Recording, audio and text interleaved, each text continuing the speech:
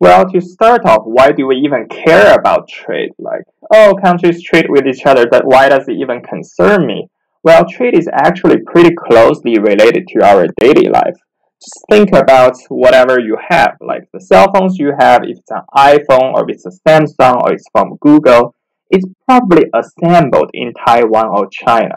If you're wearing Nike shoes or Levi's jeans, they're likely made in China or Thailand as well. Or if you drink coffee or tea in the morning, coffees are probably imported from Colombia or Kenya.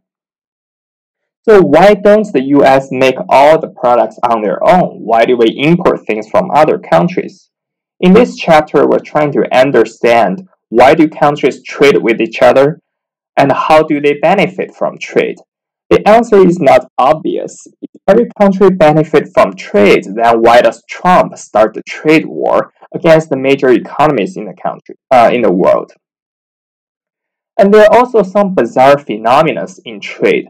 For example, one pair of Nike shoes costs 40 bucks on average in the San Francisco premium outlet in Livermore.